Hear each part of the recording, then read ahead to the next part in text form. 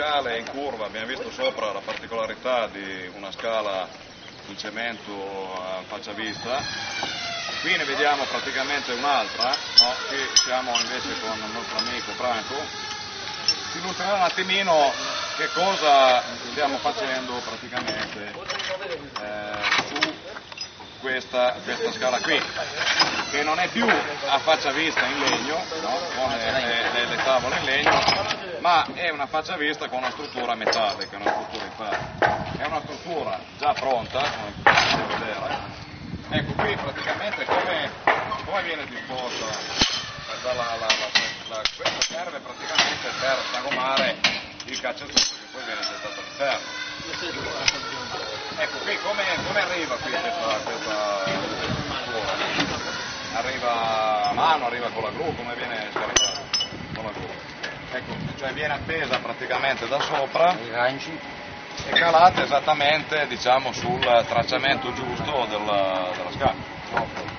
Come, come, come, si regola, cioè come viene impostata questa Quattro pezzi separati.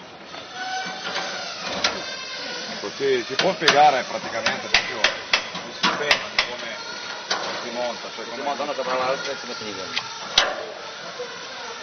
Prima, prima, ti prego Siamo qui anche con uh, il nostro amico Maurizio che praticamente è il geometra Passero che coordina praticamente la squadra delle carpenterie in questo cantiere molto grande e ci spiega lui in dettaglio praticamente come avviene il procedimento di armatura di una, una parte di scala rotonda.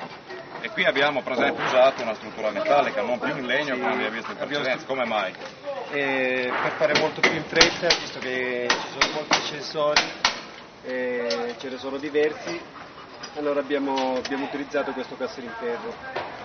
E infatti nelle prime scale, eh, i primi ascensori li abbiamo fatti in, uh, in, strutture, in strutture in legno in economia. Siccome il costo era molto eccessivo abbiamo, abbiamo pensato di fare questa struttura in, in ferro Ecco, ma questa struttura in ferro non l'avete fatta voi, è arrivata già fatta? Sì, già fatto il fabbro, poi sono quattro pezzi eh, singoli che unendoli fa un unico pezzo e...